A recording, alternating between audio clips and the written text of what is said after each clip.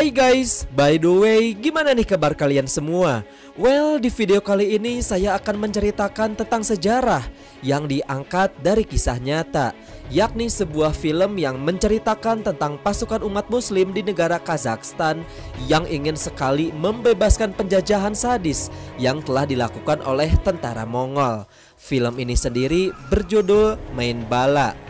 Oke, tanpa berlama-lama lagi, kalau kalian penasaran dengan kisah perjuangan umat muslim pada kala itu, tanpa berlama-lama lagi, mendingan kita langsung aja yuk ke alur film ceritanya.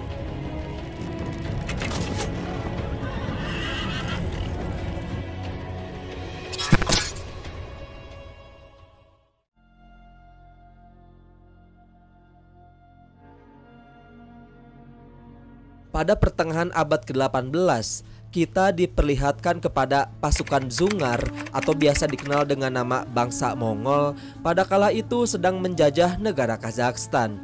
Di sana terlihat segerombolan orang Sungar sedang menjajah dan juga membantai habis-habisan orang-orang di seluruh pemukiman desa tersebut secara sadis.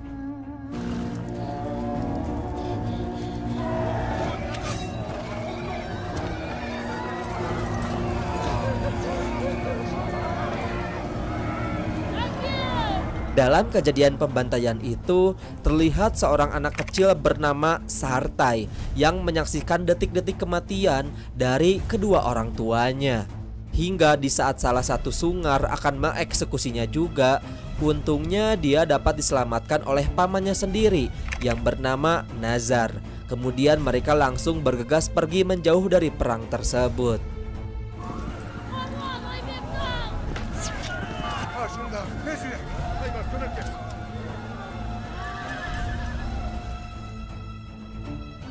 Singkat cerita, tujuh tahun kemudian, Sertai yang kini sudah tumbuh dewasa bersama dengan kedua anak yang lain yang selamat bernama Korlan dan juga Taimas, mereka di sana mulai berlatih diri tentang tata cara bertempur dan juga berperang untuk berjaga-jaga dalam melawan penindasan yang akan dilakukan oleh seluruh suku Zungar ke depannya.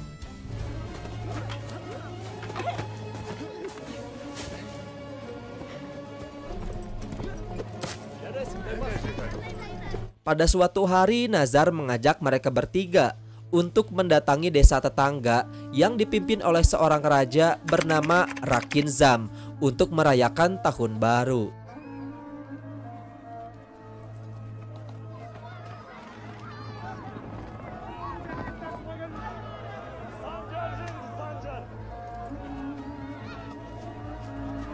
Namun sesampainya di sana di saat mereka sedang mengobrol, tiba-tiba saja mereka bertiga melihat keberadaan dua orang suku Sunggar yang merupakan musuh mereka malah disambut hangat oleh sang kepala desa. Hal itu tentunya membuat Sertai yang sedari kecil sudah benci kepada suku Sunggar, dia langsung bergegas pergi dari desa tersebut dikarenakan para penduduk yang secara sukarela menyambut seorang penjajah. Lalu setelah mereka ini sudah pergi meninggalkan desa Di perjalanan tanpa sepengetahuan pamannya yakni Nazar Sertai dan juga Taimas ternyata diam-diam sudah membunuh kedua orang suku Sunggar Hal itu kemudian mereka ceritakan kepada Korlan Lalu mengajak dia untuk bergabung untuk membalaskan dendam kepada seluruh suku Sunggar.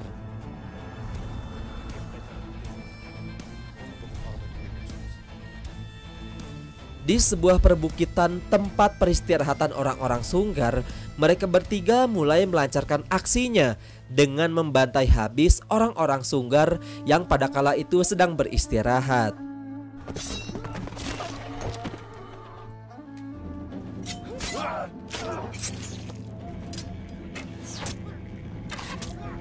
Di saat mereka ini dalam perjalanan pulang melewati perbukitan, tiba-tiba saja mereka bertiga melihat segerombolan orang yang merupakan korban selamat dari pembantaian orang-orang Sungai. Sehingga pada akhirnya Sertai pun langsung mengajak mereka semua agar tinggal di desanya saja.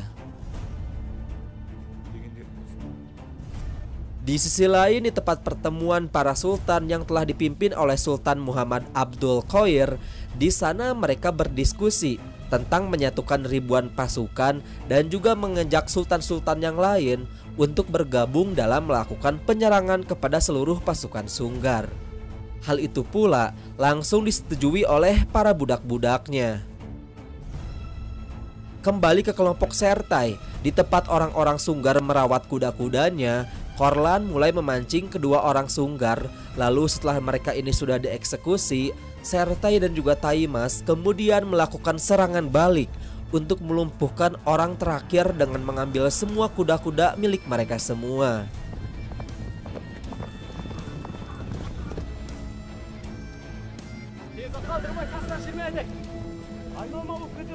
Dan setelah kuda-kudanya itu berhasil dicuri, di dalam perjalanan menuju desa, tiba-tiba saja mereka ini malah dijegat oleh beberapa pasukan pejuang yang dipimpin oleh seorang pria bernama Borbay. Kemudian Sertai berniat melakukan negosiasi untuk menukarkan beberapa kuda hasil curiannya itu dengan beberapa senjata. Keesokan paginya kelompok Sertai kembali mendapatkan sebuah undangan perjamuan untuk mendatangi desa Rakinzam. Tetapi dalam acara tersebut sempat terjadi perdebatan antara kedua belah pihak membuat Serta yang masih kesal karena kejadian lalu bahwa mereka sudah mengundang pihak musuh. Dia memutuskan untuk meninggalkan perjamuan tersebut tanpa sepatah kata apa pun.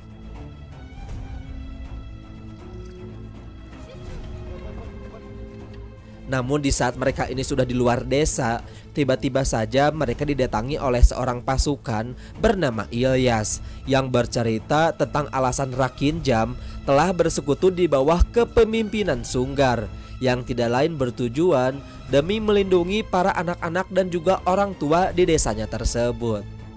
Dan Ilyas yang bukan merupakan dari desa Rakinzam langsung diajak oleh Sertai untuk berjuang bersama di dalam kelompoknya.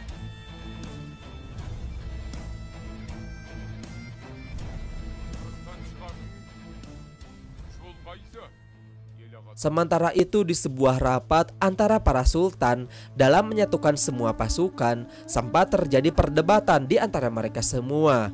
Ada yang lebih memilih membayar upeti, ada juga yang memilih agar Sunggar harus dibantai habis-habisan.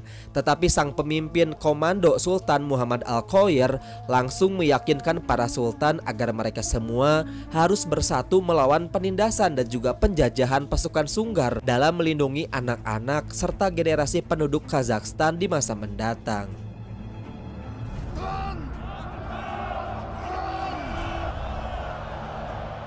Nah oke, okay. kita kembali ke kelompok Sertai. Kini mereka berlima berencana untuk membuat kekacauan di sebuah benteng tempat kekuasaan orang-orang Sunggar. Namun, mereka harus terlebih dahulu pergi ke sebuah kota terpencil untuk mengumpulkan informasi serta mempersiapkan strategi. Singkat cerita, setibanya mereka di tempat tujuan, tiba-tiba saja kelompok Sertai melihat beberapa pejuang yang akan dieksekusi atas kejahatan membunuh orang-orang Sunggar.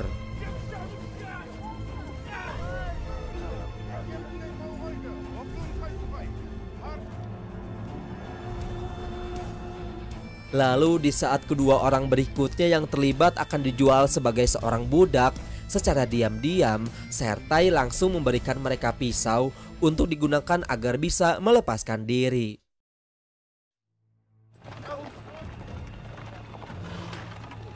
Keesokan paginya di saat prajurit Sungai tiba di sebuah perbatasan, kelompok Sertai pun bergegas menghadang jalan mereka semua dengan mengajak sang pemimpin untuk berduel satu lawan satu.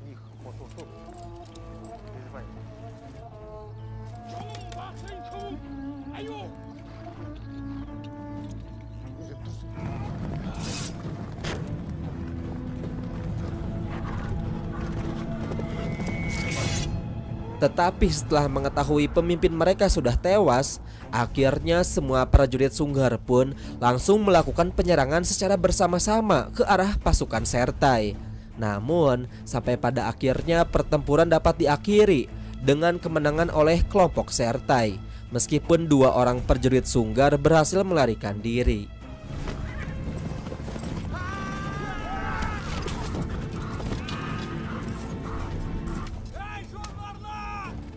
Lalu kemudian dua orang pasukan bernama Hasan dan juga Hussein yang telah diberikan pisau sebelumnya memutuskan untuk bergabung menjadi kelompok Sertai.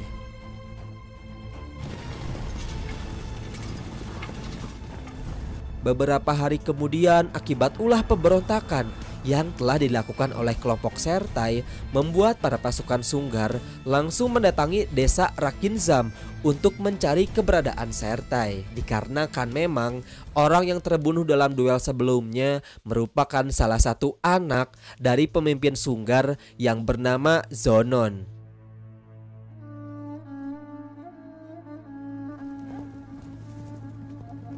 Pada malam harinya, agar dapat memasuki benteng, kelompok Sertai kembali melancarkan strategi dengan Ilyas menyamar sebagai seorang pengantar surat. Lalu setelah hari sudah malam dan di saat semua pasukan musuh sudah tertidur, Ilyas bergegas mendatangi sebuah tempat penyimpanan bubuk mesiu.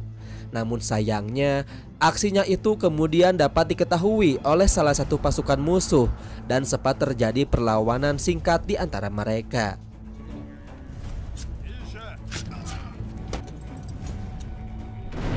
Sehingga pada akhirnya terdengar sebuah ledakan besar di dalam benteng yang menandakan aba-aba ke semua teman-temannya untuk segera menyerang.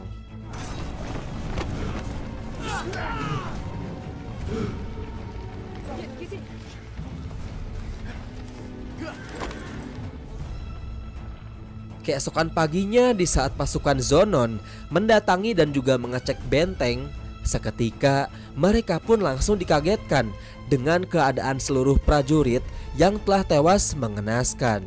Dan setelah mereka ini sudah kembali ke desa, Paman Nazar sontak menyalahkan semua kelompok termasuk kepada Taimas tentang kekacauan yang telah mereka lakukan dikarenakan hal itu akan berdampak bahaya kepada desa ke depannya.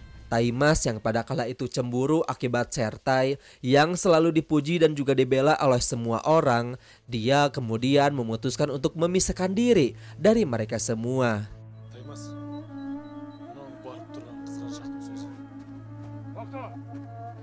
Kebencian kepada Sertai semakin bertambah besar ketika dia melihat ketiga orang pejuang yang membicarakan tentang keberanian Sertai di depannya. Sampai pada akhirnya malam hari Taimas yang masih dendam Secara diam-diam dia mulai menjebak Sertai Dengan berbohong melihat prajurit Sunggar yang telah membunuh keluarganya Sampai pada suatu ketika di saat akan menuju tempat yang dimaksud Secara diam-diam Taimas langsung menembakkan anak panah ke arah Sertai Kemudian mengarang cerita kepada penduduk desa tentang Sertai yang telah dibunuh oleh pasukan Sunggar.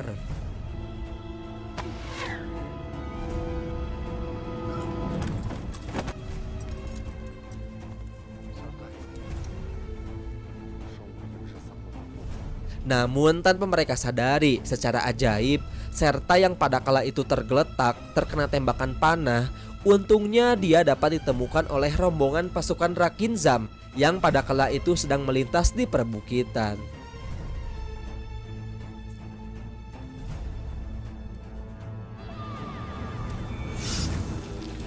Hari demi hari pun berlalu, keadaan Sertai pun kini semakin membaik setelah menerima perawatan dari seorang wanita cantik yang bernama Zere. Di sisi lain, Paman Nazar yang pada kala itu masih tidak percaya tentang kematian Sertai, dia berencana akan mencari keberadaan Sertai meskipun sempat tercegah oleh Taimas. Dan di saat rombongan Paman Nazar sudah tiba di desa Rakinzam, mereka pun dibuat kaget dikarenakan mengetahui bahwa Sertai masih selamat. Tetapi secara diam-diam dikarenakan semua ulah busuknya telah terbongkar, akhirnya Taimas memutuskan untuk memisahkan diri dari rombongan.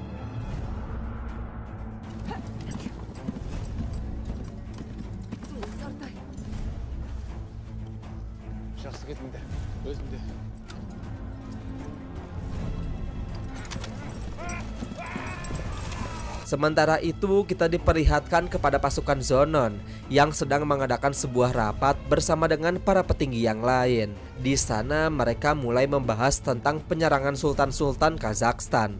Lalu dia berencana untuk menambah pasukan sebanyak dua kali lipat di saat penyerangan terjadi.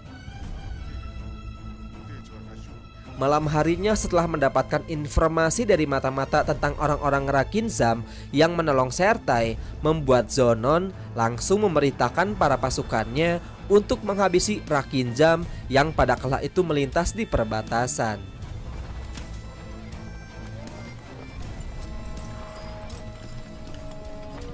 Dan benar saja, singkat cerita para pasukan Rakin Jam dan juga sebagian pengawal tiba-tiba mereka dihadang oleh pasukan Sunggar yang akan mengeksekusinya.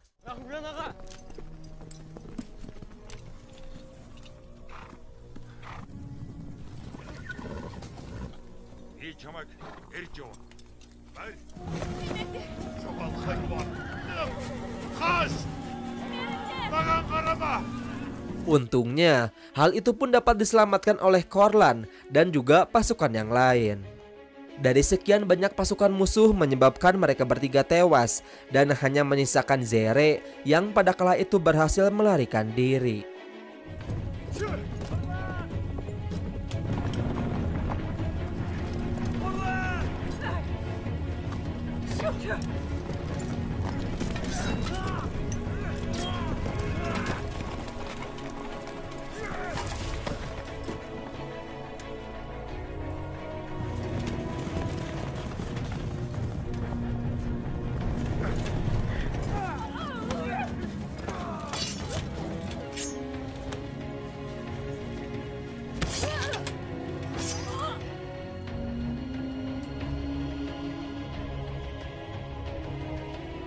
Malam harinya Taimas yang pada kala itu kembali ke desa untuk menemui adik dan juga ibunya. Tiba-tiba dia pun dikejutkan dengan kedatangan Nazar. Lalu dia membawa Taimas untuk diberikan hukuman atas perlakuannya kepada Sertai.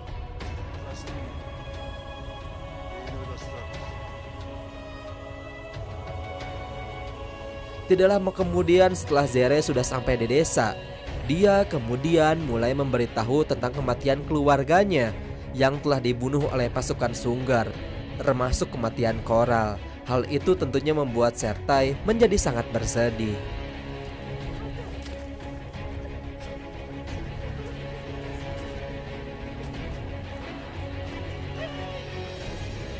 Di sisi lain di tempat pemukiman para sultan, seluruh pemimpin mulai mempersiapkan berbagai pasukan dalam melawan prajurit-prajurit Sunggar di pertempuran akhir. Sehingga pada akhirnya Sertai dan juga kelompoknya memutuskan untuk berjuang melawan orang-orang Sunggar. Namun sebelum itu, dia berencana menikahi Zere terlebih dahulu sebelum pergi menuju ke medan pertempuran.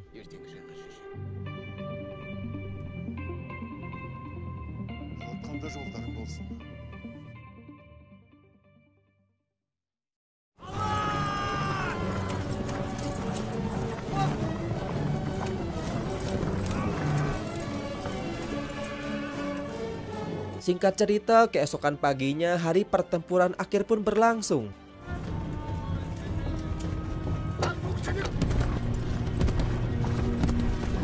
Tembakan demi tembakan terus-menerus dilontarkan oleh prajurit musuh.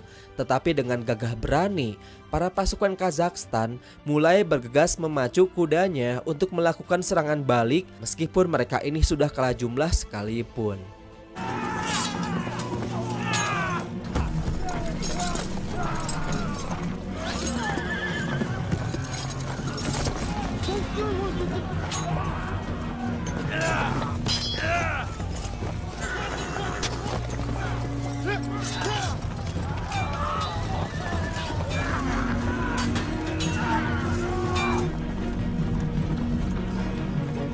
dari pertempuran sengit antara kedua belah pihak, Sertai berusaha menerobos masuk ke dalam pertahanan musuh untuk mengambil simbol bendera pasukan Sunggar.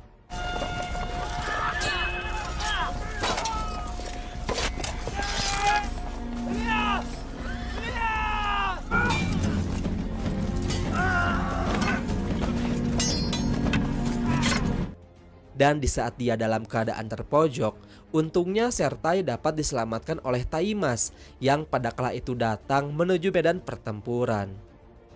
Lalu pada akhirnya perang diakhiri dengan Sertai yang berusaha menghancurkan tiang bendera musuh meskipun dia dalam keadaan sekarat terkena tembakan panah. Dan tidak lama kemudian pasukan Sunggar pun memutuskan untuk mundur dari pertempuran.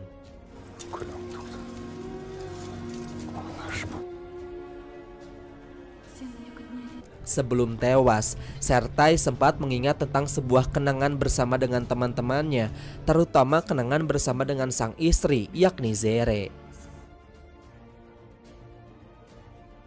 Dan di akhir film, dengan merdekanya negara Kazakhstan dari penjajahan orang-orang Sunggar atau bangsa Mongol, Zere kemudian memulai hidup baru bersama bayi mungilnya dengan hidup bahagia di tengah-tengah merdekanya negara Kazakhstan sehingga pada akhirnya film pun selesai.